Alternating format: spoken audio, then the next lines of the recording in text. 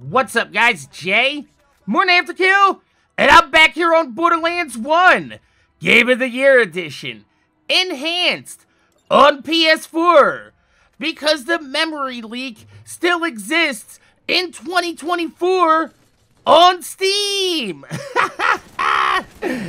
and yesterday, I uploaded a video titled Finishing What Ki11erSix Couldn't in which I showed live footage of me completing Moxxi's Underdome 20 round solo with Roland.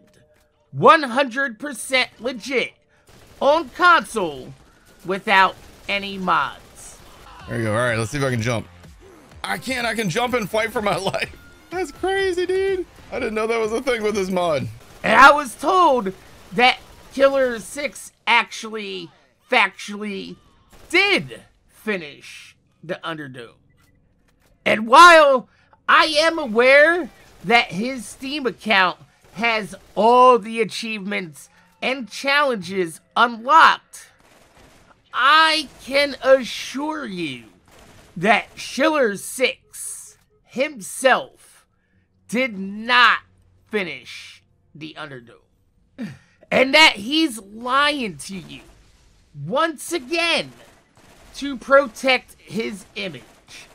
And today, I'm gonna point out all the inconsistencies in his story and let you decide for yourselves.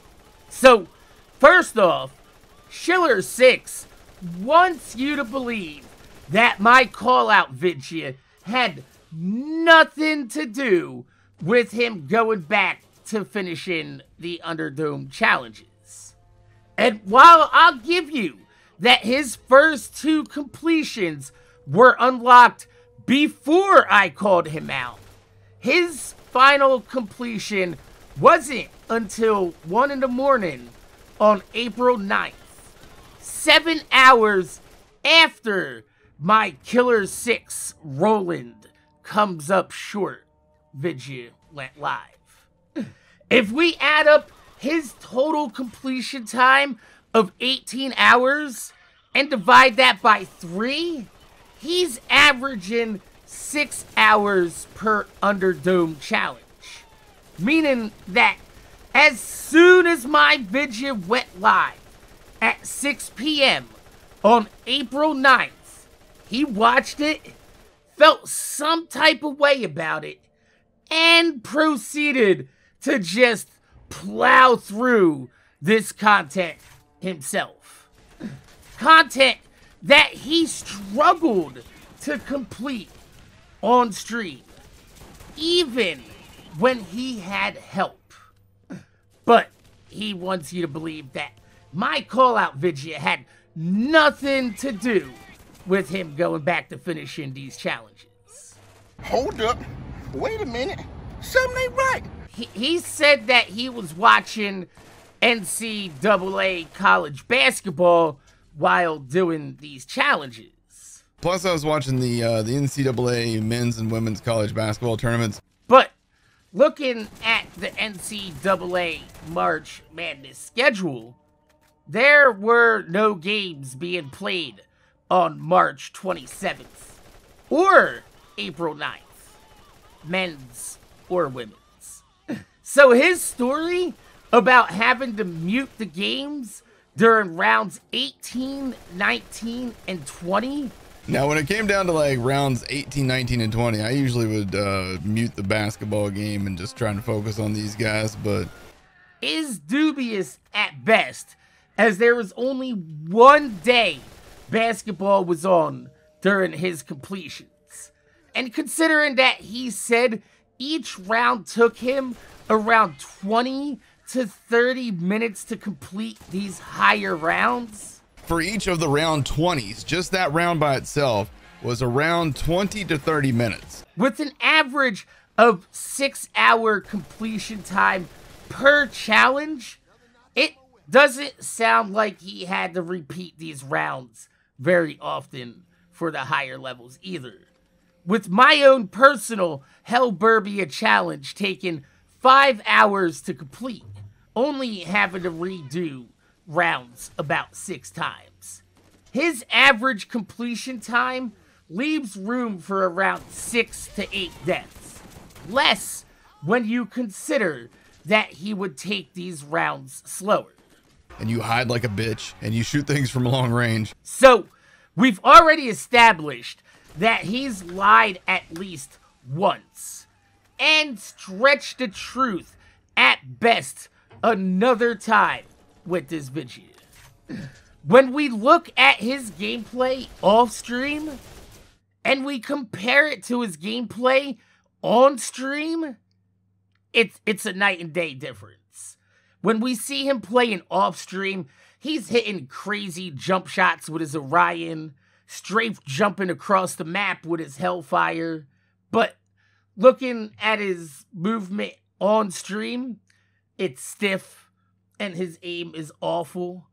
But the biggest tell for me is at the end here when he's celebrating. Melee in the air like I do when I complete high level content.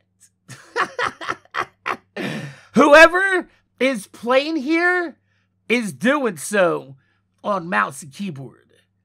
As a gamer who flips back and forth between keyboard and mouse and controller, the melee speed on controller is much more rhythmic and in line with what we see from Schiller 6 at the end of his Crawmerax ledge cheese, where you can see him struggle to even hit Craw's crit spots while he's standing still. However, when he's celebrating in the angelic ruins, his melee speed is a lot faster and very indicative of somebody playing on a mechanical keyboard. It's of my opinion that he either had somebody log into his account offline and record this gameplay for him, or he sat his son down and had him play for him offline to help him save face in the community after embarrassing himself on not only giving up his 100% Roland completion. Bum rushed by badasses, and I I couldn't imagine repeating this again. I'm sorry that I didn't get all these achievements done on this. It sucks. I really wanted to get it done, but my apologies to you guys. Screw the Underdome. But also given up on his ultimate Salvador playthrough when he failed to pimperhab his way through the OP levels. Did enjoy this playthrough. I enjoyed it until we started doing OP levels. I think from now on, I'm just going to completely dodge OP levels. It's just not a fun time for me. It's the same reason that he's lied and covered up everything that I've called him out for over the last past few years. Because he cares about his image above everything else. So, my name is Jay. MorninAfterKill. I want to thank you guys for watching. Make sure you guys rate, comment, subscribe, and really thumb up on the video. I highly appreciate it because it gives me motivation to make more videos for y'all motherfuckers that watch my motherfucking videos. I, I, I've said it many and plenty of times. These content creators have lied and manipulated the community over the last five years, putting their own financial and social gain ahead of the good of the franchise in order to gain goodwill with Gearbox, policing the community of any negativity to cultivate an image that their games are better than they actually are. The same way that you can see Schiller 6 here lying and manipulating the community in an attempt to make himself look better than he actually is. It's like I said before. Keep an eye out for the same repeated actions and patterns of behavior from the pillars of the Schillers headed into Borderlands 4's development and release cycle. Let me know what your thoughts are in the comment section down below. My name is Jay, MorninAfterKill. Thanks for watching, and I'm gonna see y'all motherfuckers later.